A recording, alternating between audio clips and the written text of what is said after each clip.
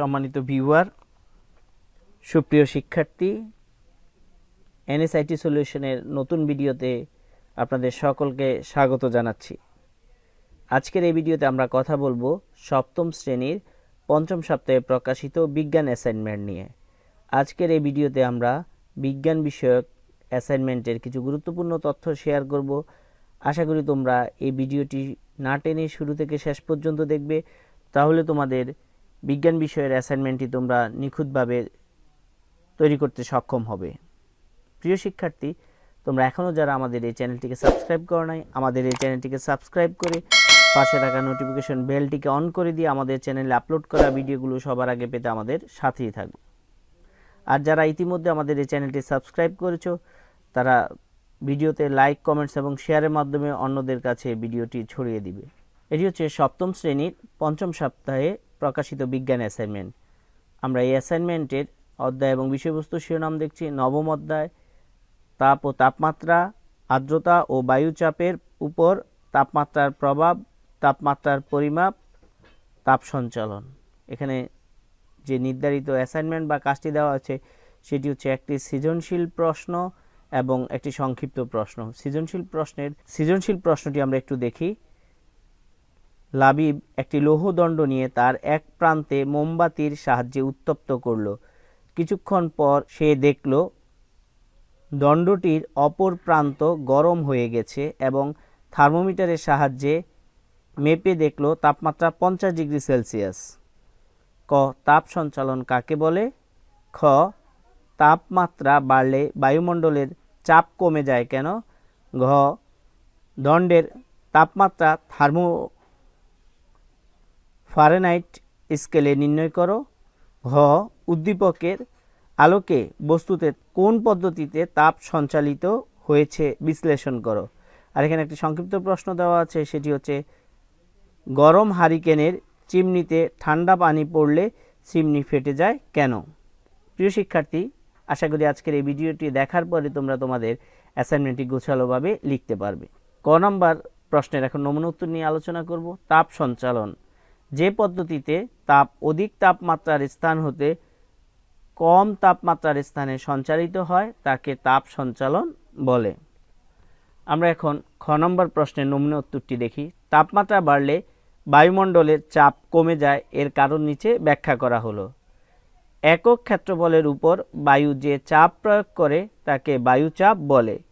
বায়ু সব দিকে চাপ দেয়, কোনো স্থানের বায়ুচাপ নির্ভর করে সেখানকার তাপমাত্রার উপর। তাপমাত্রা বাড়লে কোনো বদ্ধ পাত্রে বায়ুবীয় পদার্থের চাপ বেড়ে যায়।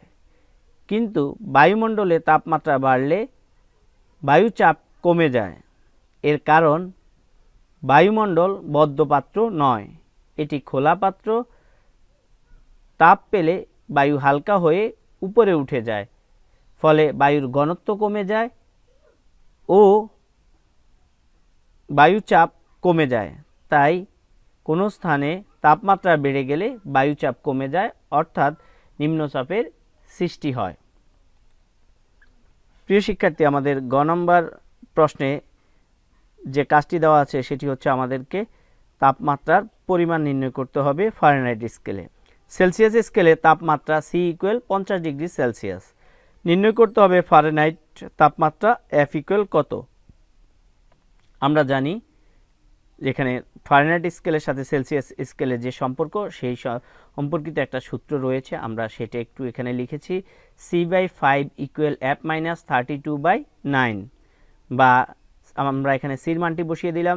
Fifty by five equal F minus thirty two by nine তো আমরা এখানে এটা যদি কাটাকাটি করি, তাহলে হচ্ছে টেন তাহলে F minus thirty two by nine বা আমরা এটাকে যদি আর গুণন করে দিই, তাহলে F minus thirty two equal ninety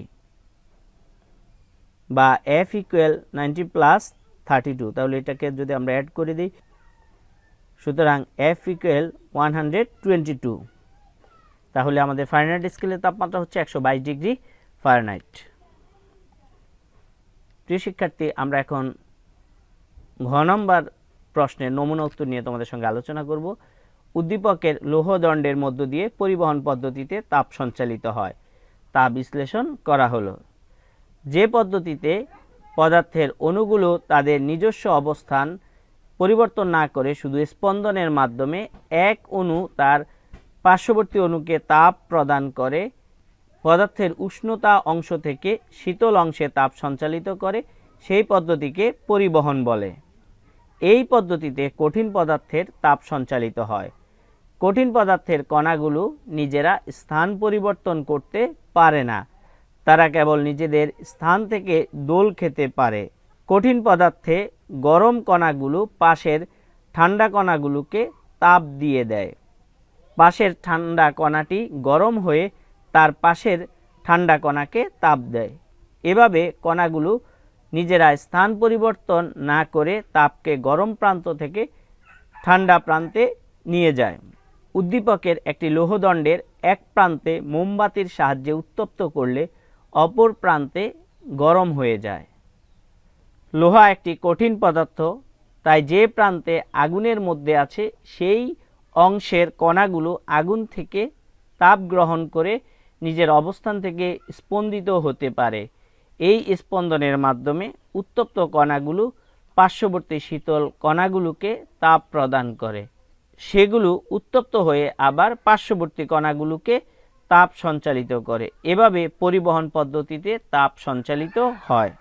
প্রিয় শিক্ষার্থী, আমরা এখন সংক্ষিপ্ত প্রশ্নের নমুনা উত্তরটি নিয়ে তোমাদের সঙ্গে আলোচনা করব। সাধারণত কাজ তাপের কুপরিবাহক। এই কুপরিবাহক কাজ দিয়ে হ্যারিকেনের চিমনি তৈরি। তাপ প্রয়োগে পদার্থের প্রসারণ ঘটে। হ্যারিকেন কিছুক্ষণ জ্বললে চিমনির কাজ উত্তপ্ত হয় এবং প্রসারণ ঘটে। কিন্তু এই প্রসারণের পরিমাণ খুব কম বলে খালি চোখে তা বোঝা যায় না। যখন এ গরম চিমনির উপর ঠান্ডা পানি পড়ে, তখন চিমনির বাইরের অংশ সংকুচিত হয়, কিন্তু ভেতরের অংশ একই সময়ে সংকুচিত হতে পারে না। এ অসম সংকোচনের ফলে গরম হ্যারিকেনের চিমনির উপর ঠান্ডা পানি পড়লে চিমনিটি ফেটে যায়।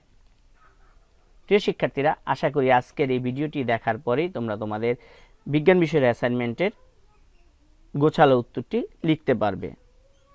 তো তোমরা যারা এখনও আমাদের এই চ্যানেলটিকে সাবস্ক্রাইব করো নাই, আমাদের এই চ্যানেলটিকে সাবস্ক্রাইব করে পাশে থাকা নোটিফিকেশন বেলটিকে অন করে দিয়ে আমাদের চ্যানেলে আপলোড করা ভিডিওগুলো সবার আগে পেতে আমাদের সাথেই থাকো।